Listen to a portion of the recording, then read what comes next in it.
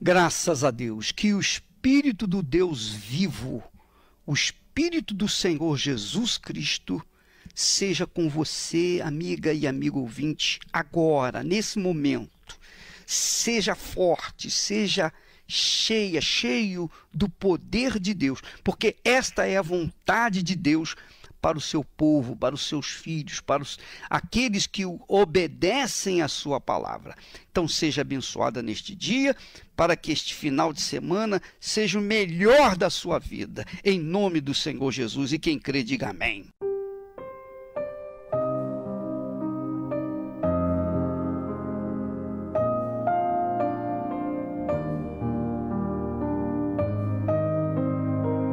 Quando Deus quando Deus criou os céus, a terra, o jardim do Éden, quando criou o homem, criou a mulher, tudo era perfeito, tudo era harmonioso, tudo havia paz. Não havia morte, não havia doença, não havia laranja podre, não havia nada estragado, era perfeitamente perfeito. Não havia o elemento oferta, não havia sacrifício, não havia altar, não havia fé, não precisava nada disso. Por quê? Porque a comunhão com Deus era perfeita, homem e Deus. A Bíblia diz que Deus passeava pelas tardes com o homem, com a criatura. Perfeição de comunhão. Casamento perfeito. Mas quando o homem pecou, o que, que aconteceu? O homem se sujou. O homem ficou imperfeito.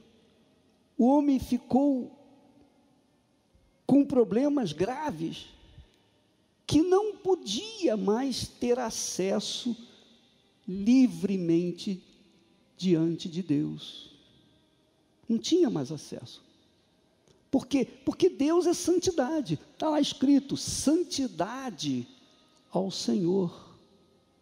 Então, o homem que se sujou, que pecou, que errou, não tinha mais condições de chegar-se a Deus por conta dele estar sujo.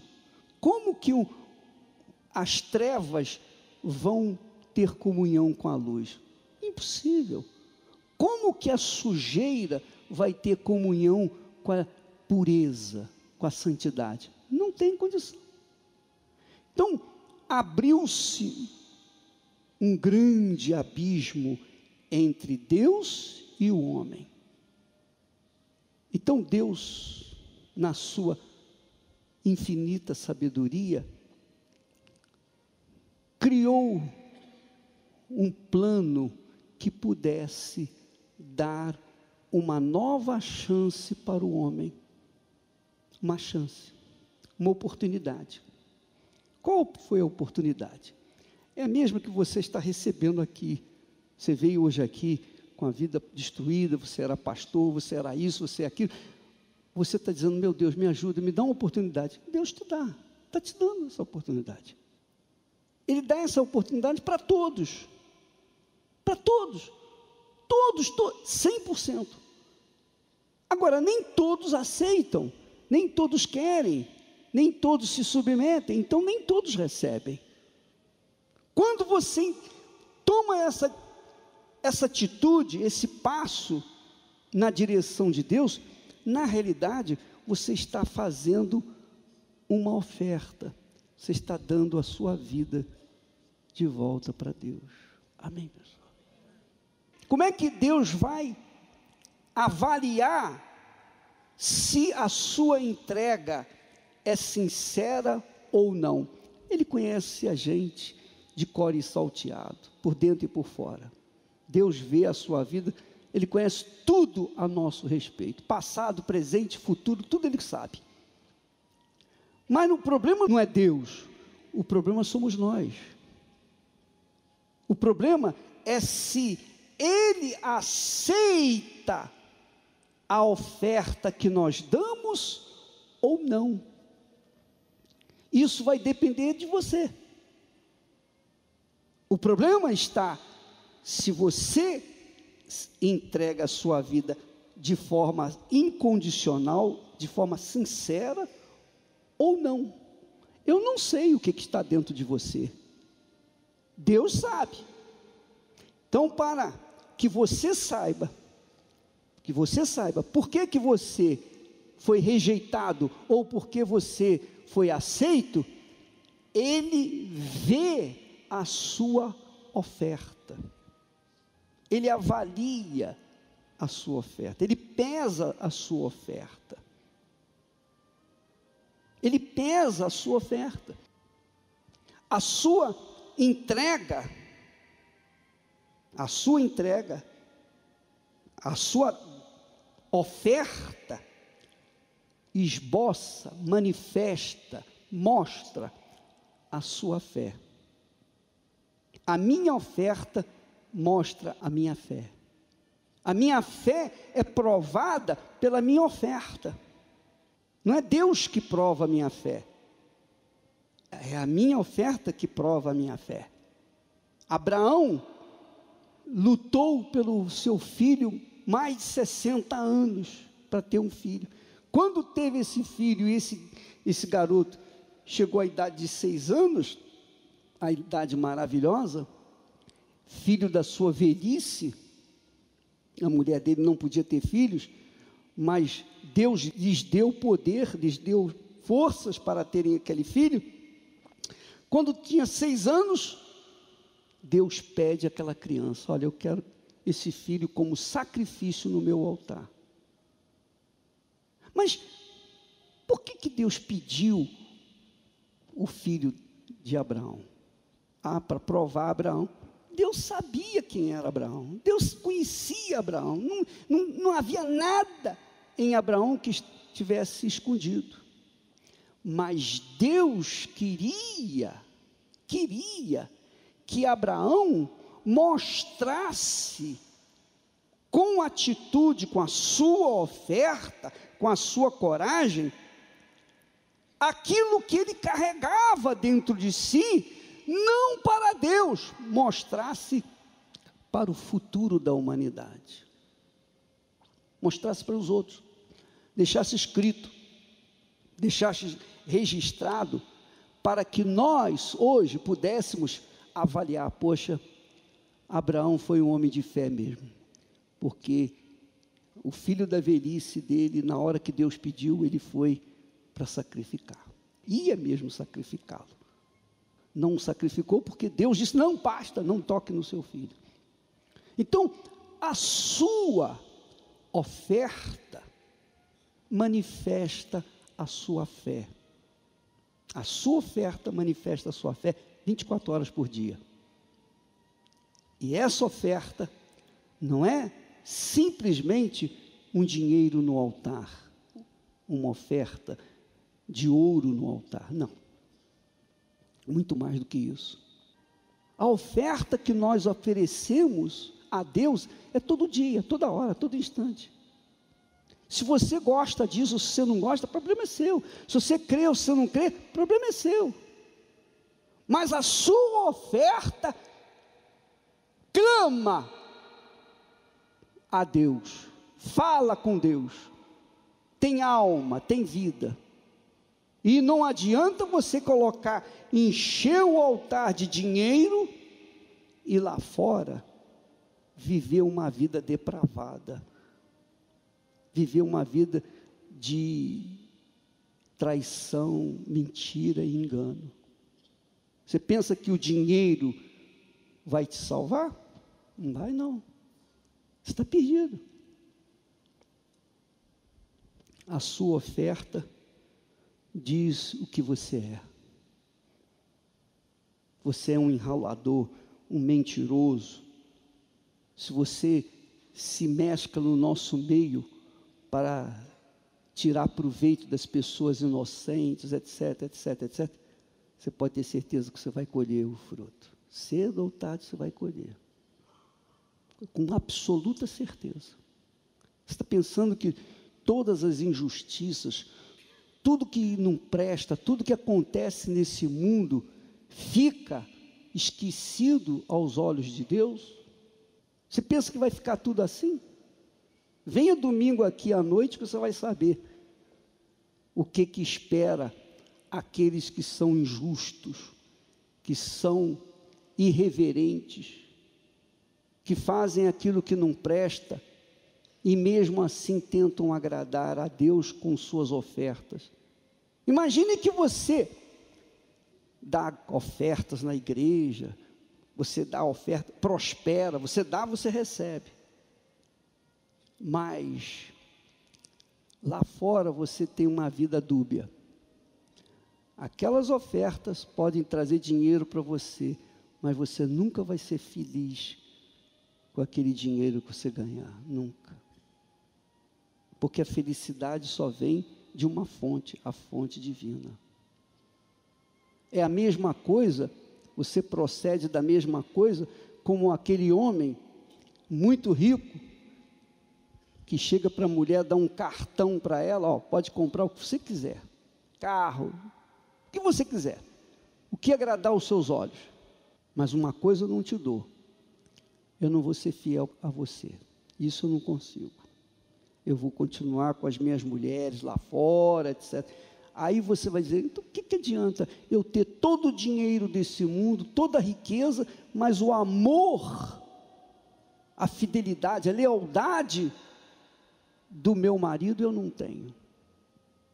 Adianta alguma coisa? Você gostaria disso? Assim é Deus. O que, que adianta você dar oferta física, econômica, mas a sua oferta principal, o seu caráter, a sua palavra de honra, sua lealdade. Poxa, isso aí você deixa a desejar minha amiga, meu amigo, você pode ser uma pessoa leal, fiel a Deus. Você pode ser aquela pessoa simples, que não tem nada na vida, tenha muito pouquinho, mas se você é fiel, entrega a sua vida, você é sincero para com Deus, Ele vai te honrar. Nós queremos que você seja abençoado. Porque nós não estamos aqui para chegar para você e dar uma palavra pura e simplesmente ensinar vocês alguma coisa e depois ir para casa esquecer que vocês existem. Não, meu amigo. A gente carrega dentro de nós o peso de vocês, a responsabilidade por vocês. Porque muitos de vocês aqui agora estão dando uma chance para si mesmos diante de Deus. E a responsabilidade é nossa que estamos aqui, de passar para vocês o melhor, para que amanhã nós não venhamos ser coniventes com o inferno por conta da sua perdição. Não, nós queremos te dar o melhor. Se não te damos o melhor, mas nós nos esforçamos para te dar o melhor. Nós fazemos isso com todo o nosso coração, porque nós amamos você. Para nós, você não é homem nem mulher, você não é branco nem negro, você não é velho nem jovem. Para nós, não tem esse negócio de homossexual, ladrão, bandido, assaltante, ex-pastor, ex aquilo. Para nós, todos vocês são almas. Almas. E Deus quer salvar é a sua alma. Deus quer fazer da sua alma uma alma salva, lavada no sangue do filho dele. É isso que ele quer. Ele quer a sua alma. O seu corpo fica por aí. A mesma coisa é a oferta. Deus não Deus precisa de dinheiro. Deus precisa de ouro. Para que Deus não precisa nada disso? Mas aquilo que é depositado no altar tem alma e clama pelo ofertante. Olha, o meu dono me colocou aqui no altar, Senhor, e eu quero dizer que o meu dono é fiel ou é infiel. Então, aquele ofertante, se é fiel, Deus vai abençoá-lo. Se ele é infiel, não tem resposta de Deus.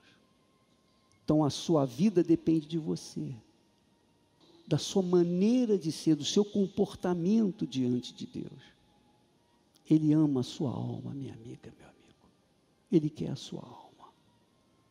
Pense nisso. Sabe por que, ele quer a sua alma? Porque a sua alma é eterna, ela não morre. A nossa alma é eterna, ela não morre. O corpo morre, mas a alma não. E uma alma salva, essa alma, quando a pessoa morre, ela vai direto para Deus. Quando a pessoa não é salva, quando a pessoa não tem nada com Deus, quando essa pessoa morre, o diabo vem, porque ela é dele, ela o serviu, então ele pega a alma dela e leva para onde ele está. É assim que acontece.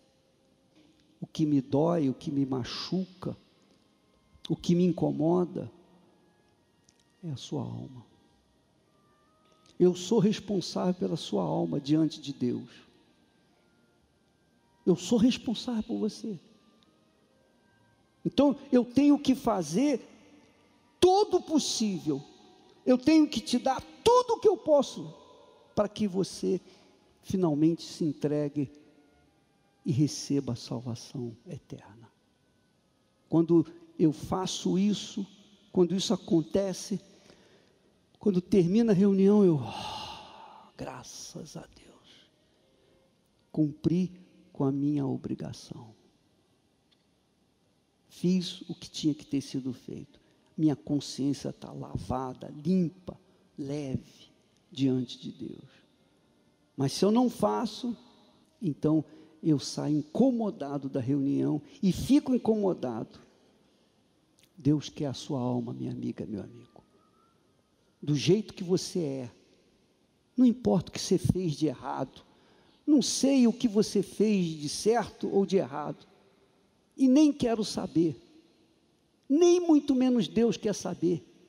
O que importa não é você, o que você fez ou que tem feito, mas é o que você oferece para Deus. Ó oh, meu Pai, aqui está a minha vida, minha oferta.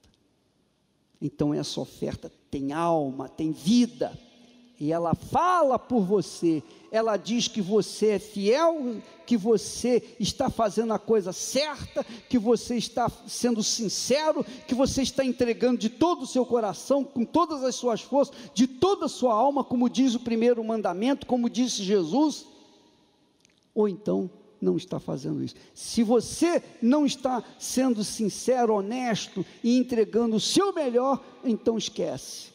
A sua vinda aqui não valeu de nada. Ela não foi aceita, rejeitada por Deus. Pensa bem, minha amiga. A sua vida depende de você.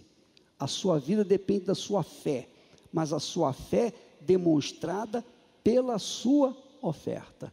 A sua oferta diz que você manifestou a fé ou que não manifestou a fé. É a sua oferta que fala isso. Agora nós vamos ouvir testemunhos de pessoas que retornaram à fé. Tinham saído e se deram mal e voltaram para os braços do Pai. Nós temos testemunhos belíssimos sobre o poder da fé em nome do Senhor Jesus. Ouça-os. Qual é o seu nome? Meu nome é Ronaldo. Ô, Ronaldo, é, quantos anos você frequentou a igreja? Dez anos, o bispo. Dez anos? Sim, senhor. E nesses dez anos você chegou a participar de algum grupo na igreja? Eu fazia parte do FJU. Da Força Jovem, né? Sim, senhor. E você ficou afastado quantos anos? 14 anos. Qual foi o motivo de você ter se afastado? É, sentimento. Eu passei a me, me apaixonei por, um, por uma jovem. É. E tentei resgatar ela para Jesus. Só que deixei aquele sentimento dentro de mim, passei a ir menos na igreja, perdi tempo. Você se envolveu com ela? Não, só dentro de mim. A minha intenção de início era salvar a alma dela. Aí eu passei a me envolver com o mundo. Ah, é? Sim, senhor. E quando você se afastou, quais eram os seus pensamentos? Meus pensamentos eram os piores pensamentos. Eu não tinha força para voltar. Eu achava que as pessoas iam me julgar por conta que eu estava lá na fé e me afastei e achava que a pessoa ia apontar o dedo para mim. E isso foi, entendeu, impedindo eu de tomar atitude para voltar. Quais foram as consequências do seu afastamento? Então, logo que eu me afastei, eu passei a me viciar em cigarros, bebida. E logo em seguida eu fui preso. Aí Você foi preso? Sim, senhor. Mas qual foi o motivo da sua prisão? Então, envolvimento com pessoas, entendeu, do mundo, eu passei a praticar, entendeu, tudo que, que eles me, me ofereciam. Virei roqueiro, tinha uma banda de rock, bebia, e voltando do- de uma balada, destruímos uma lanchonete, fui preso. O crime foi vandalismo, mas fui acusado de assalto à mão armada, formação de quadrilha. E minha mãe buscando por mim, que minha mãe que me apresentou à igreja, ela, pela fé dela, eu saí em três meses por vandalismo. A promotora tirou todas as acusações e falou que ia ficar só no vandalismo. Só que aquilo não foi o suficiente para mim voltar para Jesus. Eu chegava aí para a igreja, mas não, não me entregava. Então eu passei a usar drogas mais pesadas. Passei a fumar maconha, cheirar cocaína, cheirar, eh, fumar mesclado, que é crack com maconha. Hum, Passei a viver em função disso. O meu dinheiro, tudo que eu tinha era para comprar, entendeu? Eh, crack e fumar. E me via cada vez mais, entendeu? Me afastando. Eu tinha, eu casei, tinha filha, mas olhava para minha filha, para minha esposa e não, não tinha força para mudar minha situação. E cada vez mais ia me afundando mais e mais. E nessa situação que você estava vivendo já em trevas, qual foi o pior momento? O pior momento foi quando uma pessoa que eu amava, entendeu? Que eu considerava que era meu sobrinho, ele sob efeito de droga, tentou me matar. Aí me veio aquele medo. Eu falei, poxa, eu tô longe de Jesus. Mas tentou te matar como? Me sufocou, me enforcou e precisou de dois irmãos meus para tirar ele, tirar eu dos braços dele. Hum. Isso foi. Eu comecei a refletir e comecei a pensar: poxa, se eu morrer, para onde vai minha alma? Eu tinha medo de ir para o inferno. Quer dizer, você tinha consciência Sim, sobre a salvação, né? Sim, senhor. E como é que você foi resgatado? Quem resgatou você? Então, devido a esse medo, eu passei a, a buscar nas redes sociais, entendeu? Buscar tudo que falava sobre a igreja. E comecei a acompanhar, entendeu? As pregações. E dentro de mim foi despertando o desejo de voltar, foi me dando coragem. E eu, e eu voltei para os braços de Jesus. Quer dizer, você eh, acompanhou o blog do Bispo Macedo, Sim, as senhor. mensagens eh, de reuniões, tudo, Sim, senhor. e você tomou essa decisão. Aí eu consegui força para voltar. E qual a importância que tem para você a corrente do resgate? a corrente do resgate para mim, nos meus olhos, é, é algo que Deus, entendeu? Separou para aquelas almas que um dia serviram Ele, que, uma- que um dia estava na presença dele e que se afastou, entendeu? Porque a pessoa, quando ela está afastada, ela acha que não tem mais jeito. Que o jeito para ela, entendeu? É esperar a morte, entendeu? Ela está totalmente desenganada. O diabo fala pesado na cabeça da pessoa, falando que ela pecou contra Deus e não tem perdão para ela. Então não tem nada que ela possa fazer que mude essa realidade. E a corrente do resgate já veio para mostrar para ela que tem esperança, que tem saída. Entendeu? É só ela voltar para os braços do Senhor Jesus. Tá aqui então. Muito obrigado. Deus abençoe. Amém. Muito bem, minha amiga, meu amigo ouvinte, você saiba de uma coisa. Todos os sábados, nós temos às oito da noite a corrente do resgate. Quando o bispo Antônio e seus demais companheiros, em todo o Brasil, estão trabalhando exclusivamente para atender as pessoas que estão afastadas. Então, você que está afastado, que sente vontade de voltar, isso já é um sinal do Espírito Santo. Isso já é um toque de Deus para você voltar. Se você não sente nada, você sente desprezo, vazio, ah, você não sente nada. É porque Deus não tocou em você. Mas se você voltar mesmo assim, ele vai te atender. Mas aquelas pessoas que sentem saudade, que sentem alguma coisa assim, puxa, se eu pudesse voltar, se dentro de você há um, um resquício, apenas um, um, uma coisa, uma nuvenzinha, pequenininha, com vontade de voltar, é o Espírito Santo que está dando sinal. Olha, volte, que eu estou pronto para te ajudar. Então, neste sábado, como todos os sábados, às oito da noite, na Avenida Celso Garcia, 499, aqui no Braz, como em todas as sedes da Igreja Universal do Reino de Deus, as sedes, nos templos, nas catedrais, nós temos aos sábados, 8 horas, a corrente do resgate. Tá bom? E não se esqueça que neste domingo, aqui no Templo de Salomão, a partir das nove e meia, de nove e meia às dez, nós teremos uma reunião especial só para quem quer receber o Espírito Santo. E a partir de então, segue a reunião normal, tá bom? Templo de Salomão aqui no Brás. Deus abençoe e até amanhã em nome do Senhor Jesus.